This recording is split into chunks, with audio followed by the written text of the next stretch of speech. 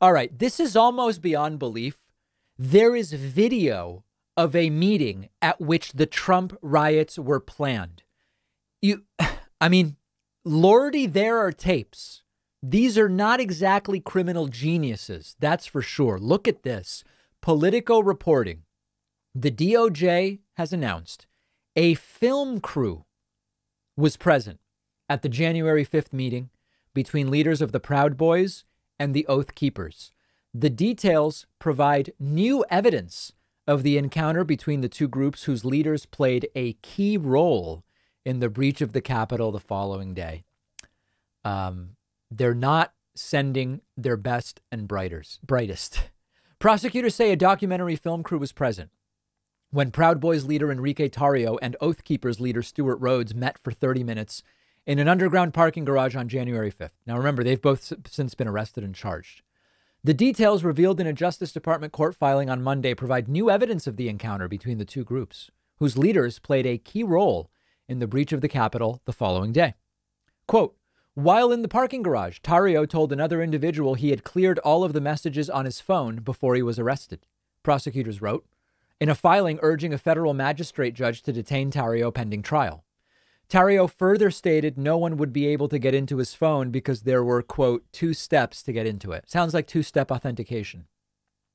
Prosecutors say after Tarrio left D.C. that night, part of a court ordered that he stay away from the city while facing charges related to his conduct during a December 2020 rally, he traveled to Baltimore. That evening, Tarrio used the phones of associates to make a number of calls and to log back into his encrypted messaging accounts. After regaining access to his accounts, Tarrio assured his men his phone had not been compromised. Reuters first reported on the existence of that meeting and the FBI's interest in it last month. New details suggest Tarrio played a more direct role than previously understood. He's been charged, Stewart Rhodes has been charged, etc. Uh, Reuters report ex Proud Boys chairman Tarrio ordered detained pending trial in Capitol riot case. This is also from yesterday. A U.S. magistrate judge in Miami Tuesday ordered Tarrio, the Proud Boys chairman, former, to be detained while he awaits trial on charges stemming from the riots. So that is what we call pretrial detention. Now, I've spoken out before about the problems with pretrial detention in the United States. It's often applied unfairly, it's often applied um, uh, in practice, it ends up affecting those who don't have money for private lawyers. We've been talking about this for a very, very long time. These right wingers only now care about pretrial detention. I've been talking about it 10 years on the show. They didn't care. They didn't think there was any problem. Now they think there is. But there are videos of the meeting between Tarrio and Rhodes. The people in the videos have been running around for a year, and many of them probably thought they were in the clear. But it appears as though what the feds are and have been doing is following it all up the food chain. It's now hit Stewart Rhodes. It has hit Enrique Tarrio.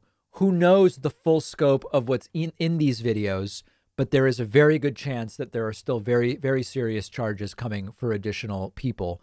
Um, and I mean, consider, you know, when this all happened back in January of 2021, there was maybe the idea among some that this was all going to be figured out quickly. Some people might be charged and some might end up going to jail, prison, etc. Uh, but we are now 14 months in and the charges are still coming and not even everybody who's going to be charged has been charged. So the upside is we're now at hundreds. It might get to thousands of people who suffer some consequences for their role in the riot. That would be a very good thing.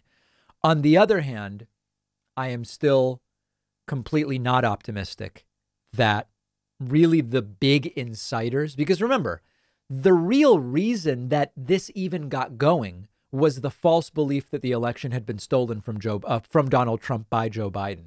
Who promulgated that? It was a bunch of Republicans and Donald Trump and Mark Meadows and uh, so on and so forth.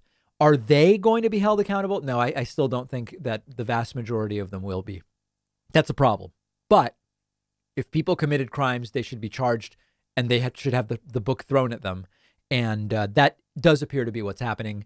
Video, video of the meeting. Unbelievable. We have a situation right now where many companies want and need to hire people quickly, but it is difficult to find the right candidates, and Workable is going to help. Workable accelerates every step of your hiring process. Workable helps you cast the widest net possible by posting your jobs to over 200 of the top job boards with just one click. It helps you evaluate and hire quickly with modern tools like video interviews and e signatures. You can automate some of those repetitive tasks like scheduling interviews. Whether you're hiring for your coffee shop or your engineering team, Workable is exactly what you need to hire the right people fast. Start hiring today with a risk free 15 day trial. If you hire during the trial, which many do, it will cost you nothing. Just go to workable.com slash podcast to start hiring. The link is down below.